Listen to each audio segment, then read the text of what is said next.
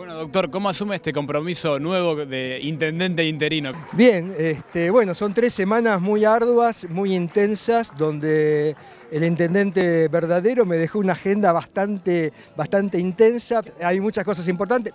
Más que nada es todo el seguimiento de todos los proyectos que se están haciendo. Eh, hoy justamente estábamos trabajando eh, sobre senderos escolares seguros eh, en la Dirección de Seguridad, la Secretaría de Seguridad, junto con la jefa distrital y con concejales de, ambos, ambos espacios políticos. Y eso también viene a eso, ¿no? Concejales de ambos espacios políticos trabajando en la concreción de un proyecto que es bueno para Pinamar. Eh, así que bueno, tengo trabajo en todas las áreas, en reuniones con todos los secretarios, directores, así que es muy, una experiencia muy rica para mí. ¿Qué significa para el radicalismo que haya un intendente interino de ese color político? Eh, después de 31 años se sentó en el sillón de Actis Caporales un intendente, si bien es un intendente interino eh, y no surgido por la votación del pueblo, pero indudablemente que es una responsabilidad y un honor.